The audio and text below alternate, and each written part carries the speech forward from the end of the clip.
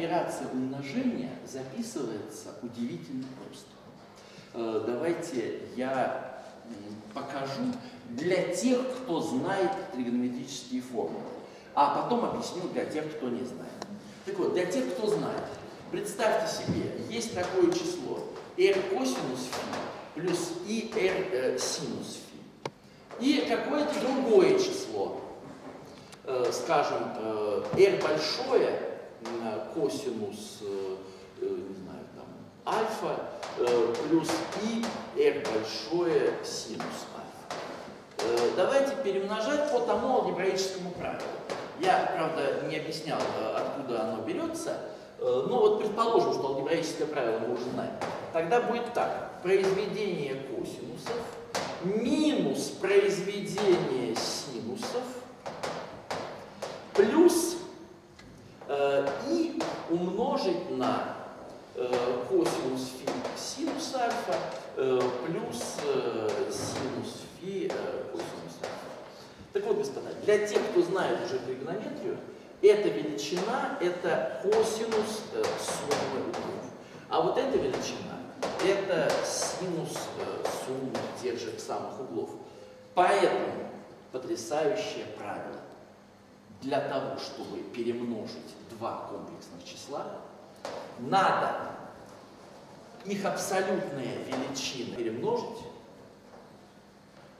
а аргументы, что надо сделать? Что надо сделать с аргументами? Совершенно верно. Аргументы складываем. Ребята, это же замечательно. А, это очень простое правило. И для того, чтобы успешно работать с комплексными числами, надо на самом деле знать оба правила. И алгебраическую форму, когда удобно, значит, э, отдельно x, э, отдельно абсциссу, отдельно ординату, да, и вот такую форму, когда перемножаем модули и аргументы складываем для того, чтобы сказать. Кстати, всем понятно, что будет, когда мы будем делить. Надо делить абсолютную величину, а аргументы что? Вычитать, конечно. И вот, замечательно. Но я сказал, это я сейчас сказал для тех, кто знает тригонометрические соответствующие формулы. И хуже того, для тех, кто поверил вот в эту формулу. Потому что вообще абсолютно непонятно, откуда она взялась. Оказывается, есть альтернативный подход, который делает более понятной всю эту вещь. Я знаю даже два таких альтернативных один из них э, хорошо объясняет вот это, а другой из них очень хорошо объясняет вот это. Значит, господа, э, для того, чтобы разобраться вот с этим, надо сказать, что такое множество комплексных чисел. Кстати, это нам все равно потребуется.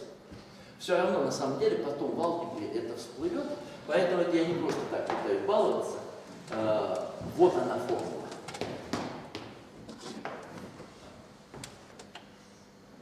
Что хотя бы кто-то из вас первый раз в жизни увидел. Значит, что здесь написано? Рассматриваем всевозможные многочлены с вещественными коэффициентами. И каждый раз, когда видим x квадрат, заменяем его на минус единицу. То есть вводим такую букву, и у нее правило работы. Как только видишь x квадрат, имеешь право заменить его на минус единицу. И наоборот, минус единицу в любой момент имеешь право заменить на x квадрат. То есть э, все многочлены рассматриваем с точки зрения их остатков отделения на многочлен x квадрат плюс 1. Ребята, если кто-то из вас на математические кружки ходил, то, наверное, вы знаете такую вещь, так скажем, множество остатков отделения на 5. Знаете, да? Вычисление по модулю 5. Или остатки отделения на 10. Что такое остатки отделения на 10? Это называется на последнюю цифру числа смотреть, да? Так вот, есть огромная разница.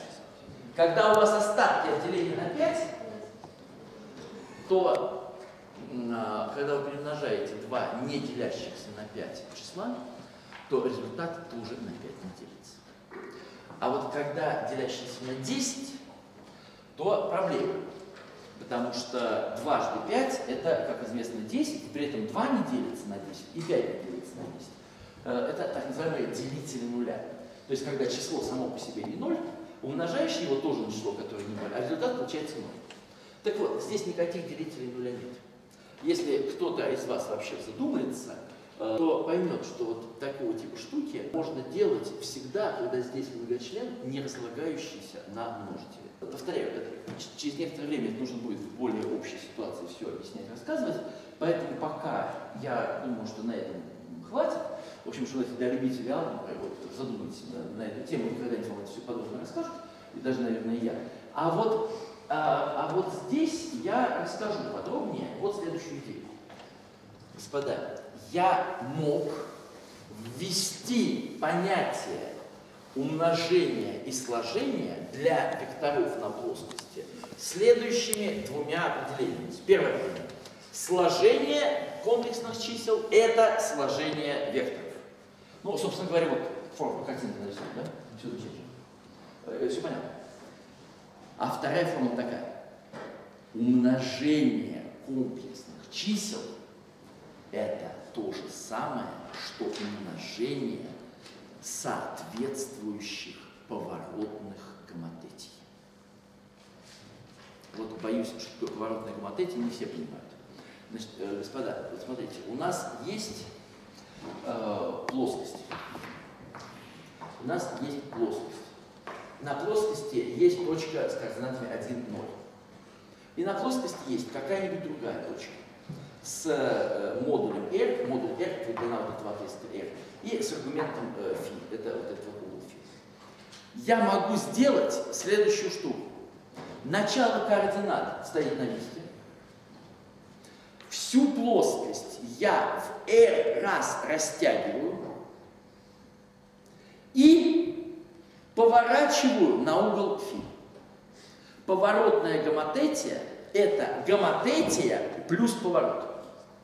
Каждая точка становится в R раз дальше, чем она была, и к тому же еще направление на нее поворачивается на φ. Принято всегда поворачивать против часовой стрелки. Э, тогда смотрите, как все будет понятно.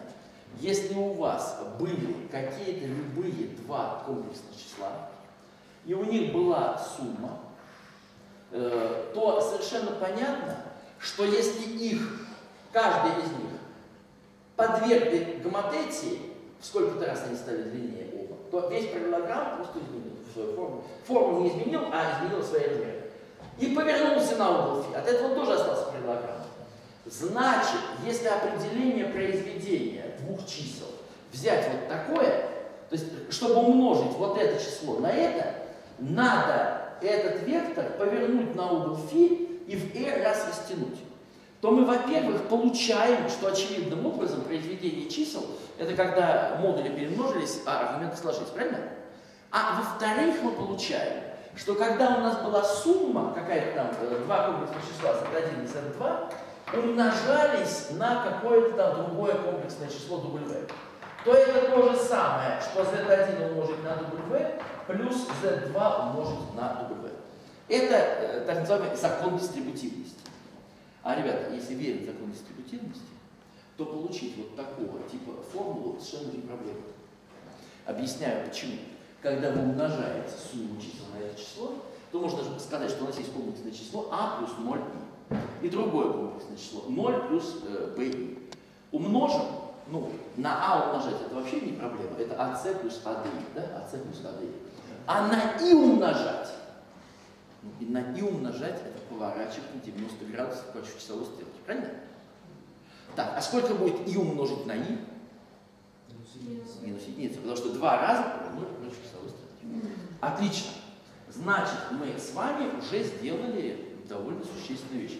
Мы э, поняли алгебраическую и тригонометрическую формы записи комплексных